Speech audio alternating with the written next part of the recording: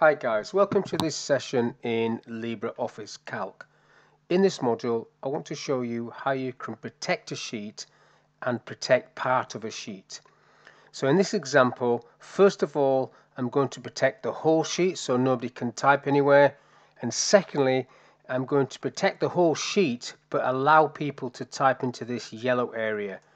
So there's two stages. But first of all, just to protect the whole sheet, so you don't want anybody to type anywhere, you need to go up to the Tools tab and Protect Sheet.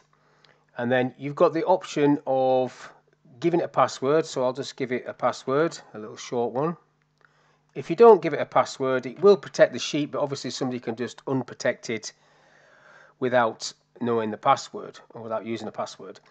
What you have ticked is what you're allowing people to do. So I'm allowing people to select cells and see the information in there. I'm not allowing them to do anything else. If I click OK to this and then try and type somewhere, I get the protected cells cannot be modified box appearing. I'll click OK to that. Now to remove that protection, I need to do the reverse process, Tools, Protect Sheet, and give it my password, and then it is unprotected, and then I can type anywhere like so. So that's really for like a summary sheet maybe, where you don't want anybody deleting formulas by typing over them. Now the other option is to allow people to type in certain areas and to do this is two steps. First step is you highlight the area that you want people to type in and then you go format cells and in format cells once it loads up you want to go into the protection cell protection tab and take the tick off protected. Now nothing happens when you do that, okay. That comes into play when you then do protect sheet. So tools, protect sheet. This time I won't bother with the password. I'll click OK. So I should not be able to type there, but I should be able to type in there and I can. And the formulas work. I can't type on the formulas because I get that up. So to allow people to type in certain areas, two steps.